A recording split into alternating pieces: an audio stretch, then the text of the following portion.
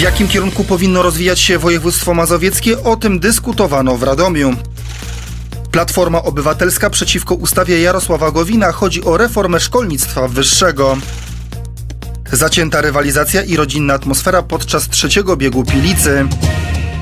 Poniedziałek w radomskim oddziale Mazowieckiego Biura Planowania Regionalnego odbyła się debata z udziałem samorządowców na temat kierunków rozwoju województwa mazowieckiego. Ma to związek z nowym podziałem statystycznym województwa. Od 1 stycznia w obrębie województwa praktycznie mamy dwa regiony statystyczne, czyli Warszawę otaczających 9 powiatów i pozostałe 32 powiaty, w tym powiaty ziemi radomskiej. To będzie po pierwsze sankcjonowało nasze starania o środki europejskie e, kierowane e, na poszczególne te dwa obszary. Czy się to nie oznacza żadnego podziału administracyjnego, ale będziemy chcieli wynegocjować jak najlepsze e, warunki. Jednocześnie spotkanie stało się również okazją do podsumowania działań w ramach poprzedniej perspektywy unijnej oraz poprzednich budżetów samorządu województwa mazowieckiego. W ramach tego programu e, subregion radomski otrzymał około miliarda, e, miliarda złotych z Europejskiego Funduszu Rozwoju Regionalnego i ponad 900 milionów z Europejskiego Funduszu Społecznego.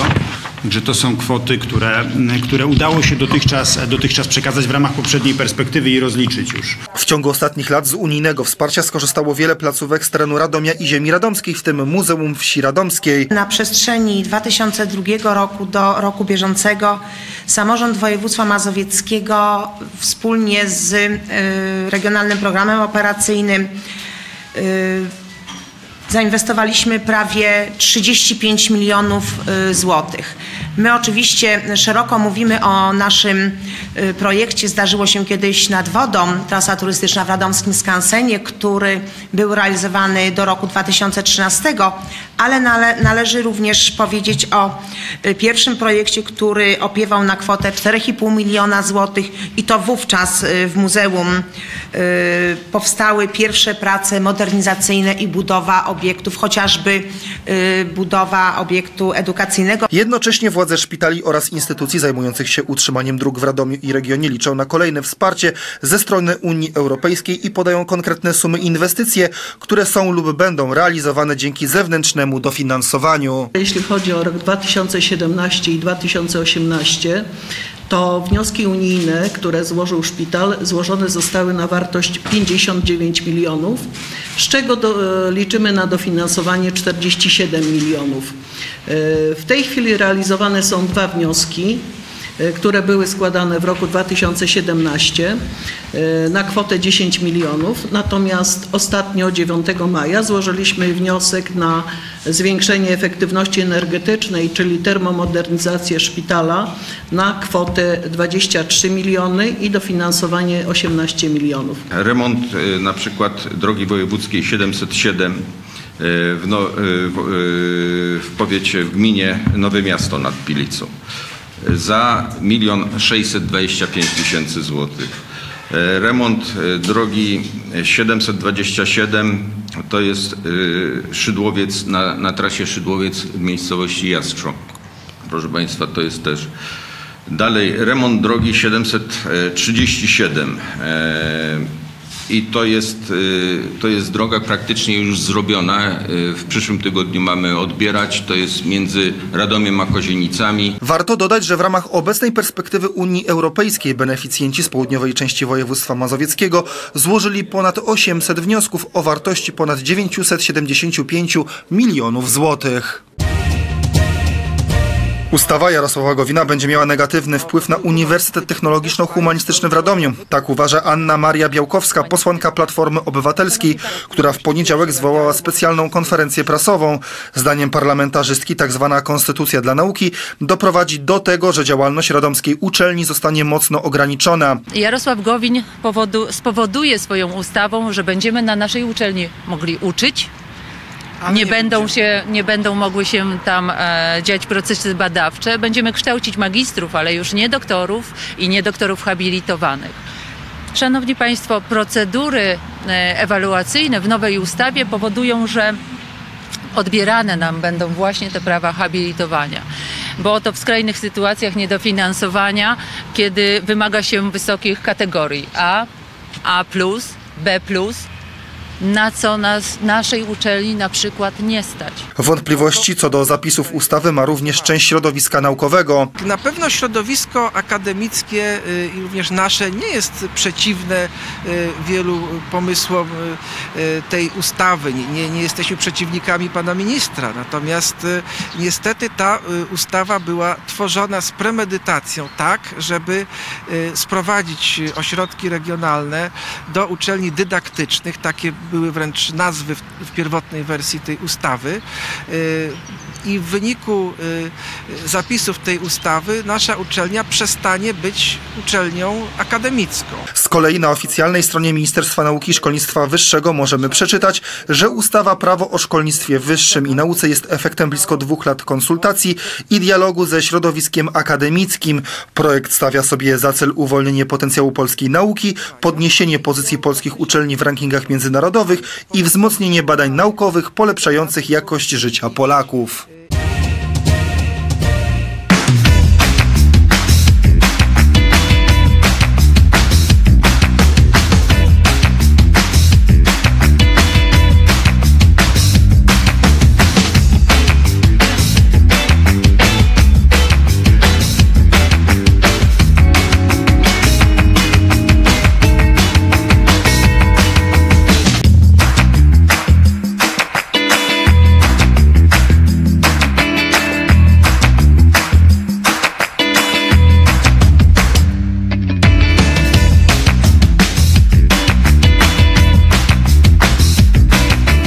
Cieszę się, że jak co roku praktycznie mamy ponad 200 startujących.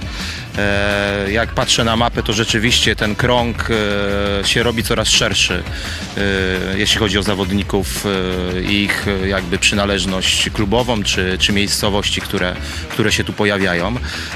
Również co mnie cieszy, coraz więcej jest, bo już ponad 40 jest startujących z gminy Białobrzegi. E, W pierwszym biegu było 23 bodajże, teraz jest ponad 40, więc e, mam nadzieję, że troszkę zarażamy biegami, bieganiem e, również naszych mieszkańców i taki też był cel e, tego, te, tych biegów tutaj, tutaj w Białobrzegach. W sumie w tym biegu weźmie udział około 800 startujących, licząc również dzieci, rodziców, którzy będą biec z dziećmi, także e, duże święto biegania w Białobrzegach. No i właśnie, doskonała także po raz kolejny promocja gminy i miasta. No tak, bieg ma również e, za zadanie promować Białobrzegi w regionie, no jak się okazuje troszkę, troszkę szerzej E, i chyba to zadanie spełnia, ponieważ e, ta frekwencja jest, jest, jest fajna. E, Również promowanie zdrowego stylu bycia, zdrowego stylu biegania i w ogóle sportu jako takiego. E, No i to jest to, tak, o co nam chodzi. E, Cieszymy się też, że, że sporo mieszkańców jest zaangażowanych w to, nowi sponsorzy się pojawiają. E, To wszystko nakręca nas, powiedziałbym, do, do coraz lepszej organizacji i, i kontynuacji tego w latach następnych.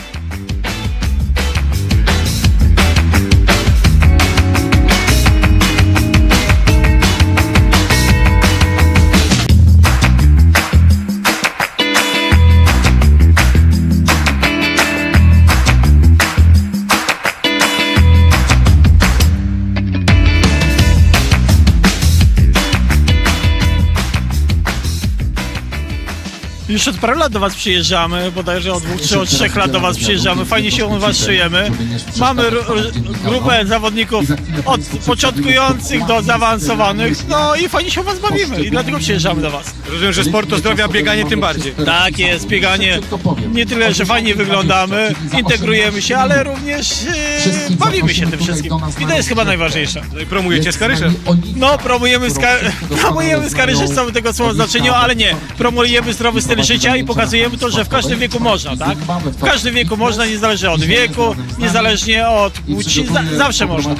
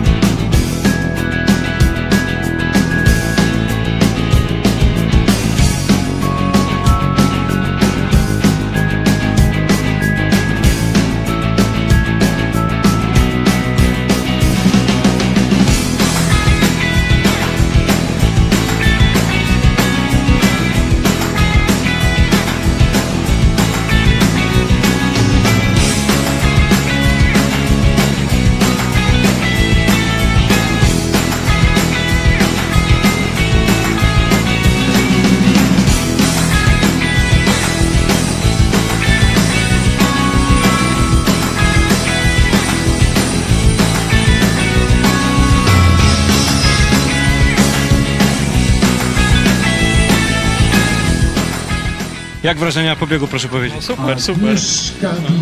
Jak trasa? Trasa też bardzo dobrze, pogoda troszkę przeszkadzała, a tak to naprawdę super wrażenia. Pogoda przeszkadzała? Przeszkadzała, jak najbardziej, tak. No dla, biega, dla biegaczy przeszkadzała, a dla kibiców myślę jak najbardziej pozytywnie. A dlaczego ten bieg się podobał?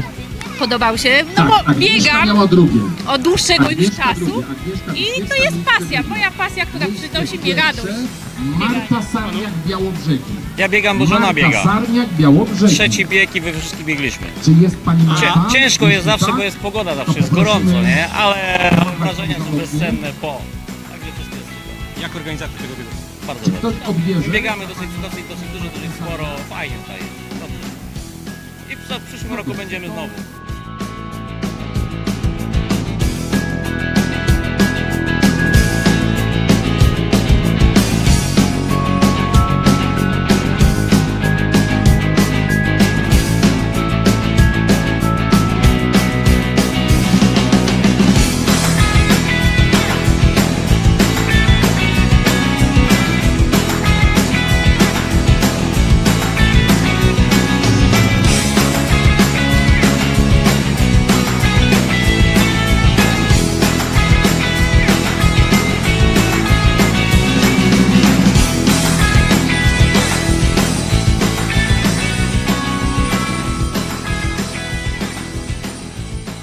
Organizacja, jak pan ocenia? Bardzo dobrze. Przepióra. Zawsze byłem ty, tutaj, drugie, oglądałem, patrzyłem jak ten i w porządku wszystko. No. Czyli lepiej nie oglądać, a biegać. Oczywiście, polecam każdemu. Super. Ja pierwszy raz biegłem i jest ekstra.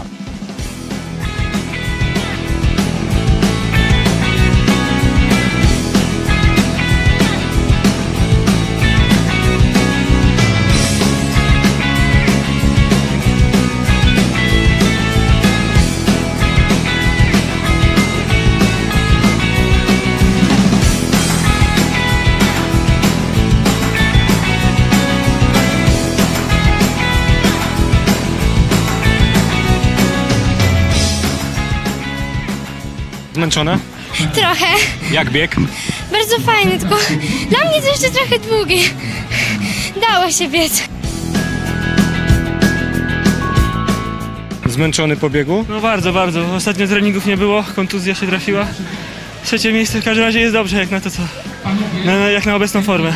Jak pan ocenia organizację biegu tutaj w Białobrzegach? Znaczy jestem stąd, mi się tu podoba, wiadomo. W domu jest najlepiej. Rozumiem, że Białobrzegi po raz kolejny pokazują, że, że warto tu przyjeżdżać i biegać. Tak, myślę, że tak. Oby takich imprez jeszcze więcej.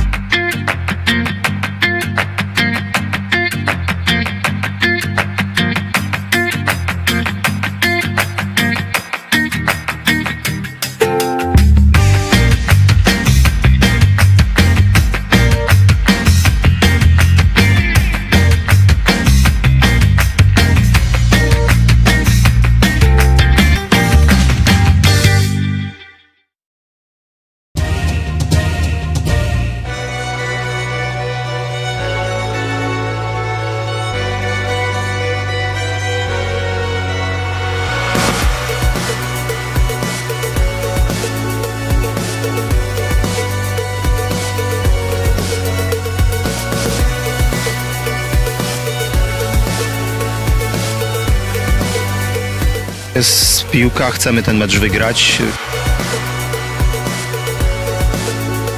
Wiemy, że nie wolno nikogo lekceważyć, a jak będziemy mieli troszeczkę szczęścia, to, to będzie dobrze. Mecz Pilica Białobrzegi Broń Radom. Środa godzina 17 na żywo wyłącznie w Zebra TV. Jak w każdy wtorek zapraszamy Państwa do obejrzenia nowego odcinka programu Kontrast. Tym razem gośćmi Krzysztofa Czabana są posłowie ziemi radomskiej, w tym Andrzej Kosztowniak z Prawa i Sprawiedliwości, Mirosław Maliszewski z Polskiego Stronnictwa Ludowego oraz Leszek Ruszczyk z Platformy Obywatelskiej. Telewizyjna premiera programu o godzinie 17.45.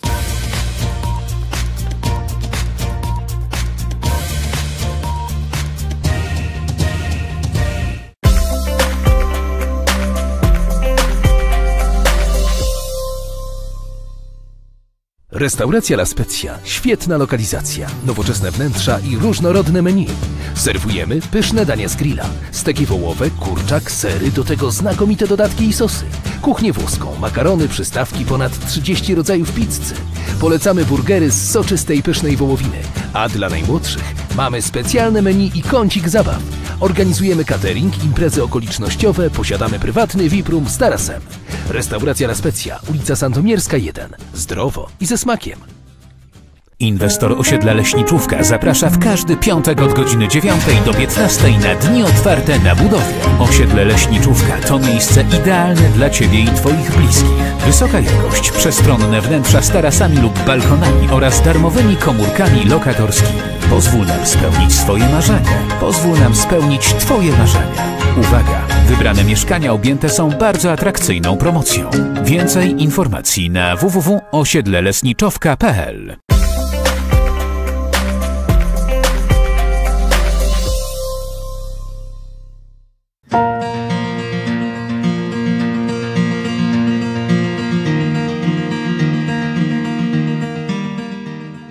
środę w Radomiu pochmurno i deszczowo dodatkowo mogą nam towarzyszyć burze na termometrach 19 stopni. W czwartek zachmurzenie duże, w ciągu dnia możliwe również gwałtowne burze. Termometry wskażą 15 stopni. W piątek zdecydowanie więcej słońca. Synoptycy nie zapowiadają opadów deszczu na termometrach do 19 stopni.